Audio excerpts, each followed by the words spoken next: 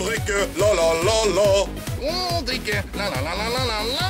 God drikke, la-la-la-la. God drikke, la-la-la-la-la-la.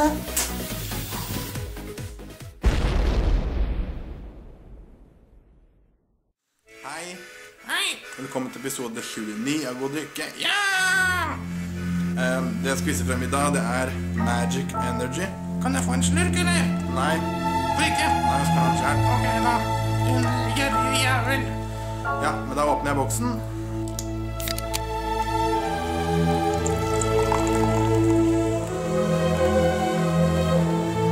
Og så tar jeg en slurk. Jeg vil ha. Du får ikke. Jeg gir opp.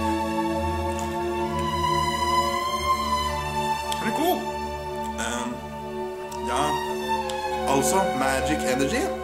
Ternekast 4. Ha det. Ha det.